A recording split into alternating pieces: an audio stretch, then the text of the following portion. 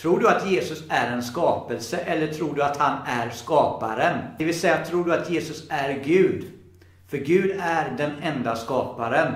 Eller tror du att Jesus inte är Gud? För tror du inte att Jesus är Gud så kommer du brinna i helvetet. Detta säger Jesus i Johannes kapitel 8, vers 24.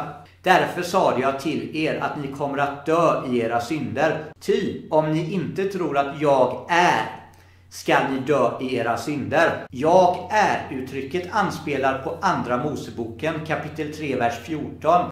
Där Gud sade till Mose, jag är den jag är.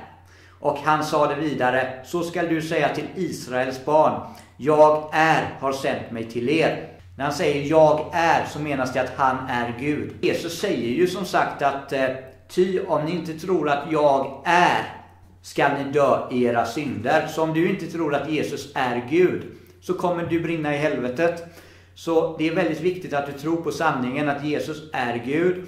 Och eh, jag har två videos med en hel del bevis från Bibeln att Jesus är Gud. Om du är intresserad så kan du se på de videorna. Jag länkar till de videorna under denna videon. Jesus välsigne dig.